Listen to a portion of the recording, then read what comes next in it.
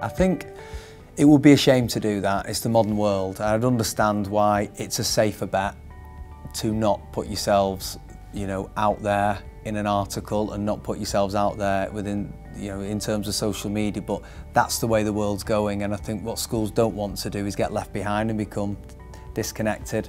I think it's always about weighing up the risk, which is exactly what we did when we decided to do educating. We said, okay, what are the risk factors? There could be some risk factors there. Um, but I also think there's risk factors in doing nothing and just staying as you are. You know, if you take any business, for example, that doesn't take risks and doesn't put themselves out there and doesn't push the boundaries in some way, take Blockbuster, for example, you know, they could have taken Netflix, the idea, and, and you know, done something amazing with it. They didn't, they didn't do that. They decided not to do that, and then they're not in business anymore. And Netflix is, you know, pretty much taking over the world. It seems at the moment.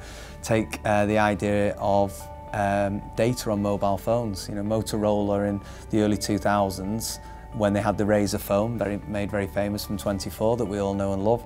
Um, they said who would want data on the phone? Well, Steve Jobs said we will definitely take that onto phones with the iPhone.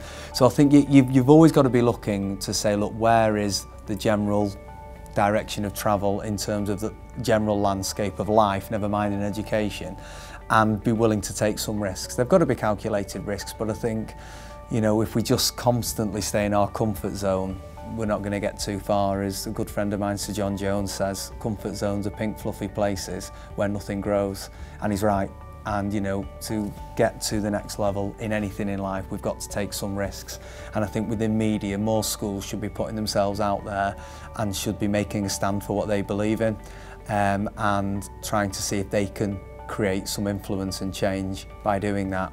Um, but it's a scary thing to do you know and it does take a brave call from head teachers and governors to put yourselves out there. But I think it will become more of a necessity as we march forward into this world and as people start looking at schools differently, which I think they're already doing. I think there will be questions asked to how do you judge a school?